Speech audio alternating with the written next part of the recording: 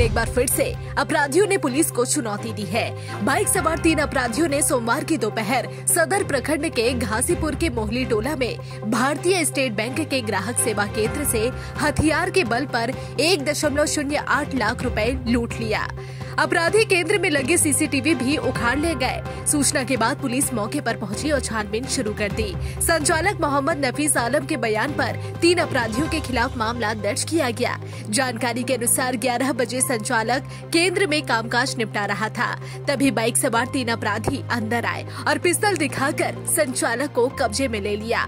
इसके बाद अपराधियों ने लॉकर में रखा एक दशमलव शून्य आठ लाख रुपया और सीसीटीवी उखाड़ लिया। अपराधियों ने संचालक चालक से उनकी बाइक की चाबी भी मांगी लेकिन उनके अनुरोध पर बाइक छोड़ दिया गया। इसके बाद अपराधी आराम से चलता बना। करीब दस पौने ग्यारह के बीच में है। साढ़े दस पौने ग्यारह के बीच में है। तीन आदमी नकाब पोस्ट में आया और बंदूक दिखाया और पैसा खुद से निकाला एक से ही निकाल लिया और लेके चला गया। बाइक का चाबी भी मांग रहा था किसी तरह रिक्वेस्ट करने पे बाइक छोड़ दी क्या? तीन आदमी था। पूरा नकाब उसमें था पूरा गमछा बंधा हुआ था और डेढ़ लाख करीब लगभग।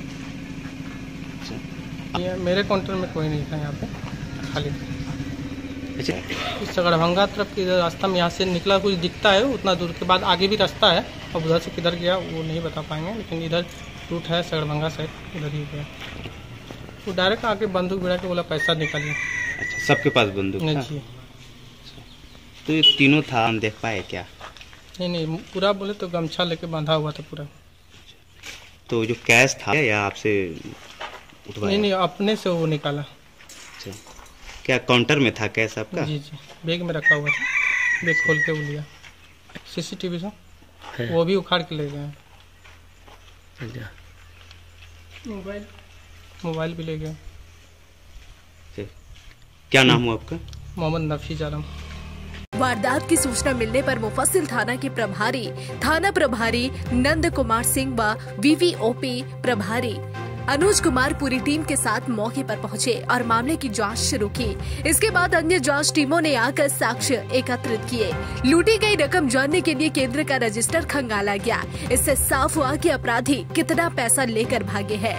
पुलिस ने अपने स्तर से अपराधियों पर पहुँचने का हर संभव प्रयास किया, लेकिन कुछ भी हासिल नहीं हुआ। प्रभारी थानेदार ने बताया की नकाब तीन अपराधियों ने पिस्तल जैसी चीज़ दिखाकर वारदात को अंजाम दिया है। एक दशमलव शून्य आठ लाख की लूट हुई है। संचालक के बयान पर मामला दर्ज कर अपराधियों की पहचान का प्रयास किया जा रहा है।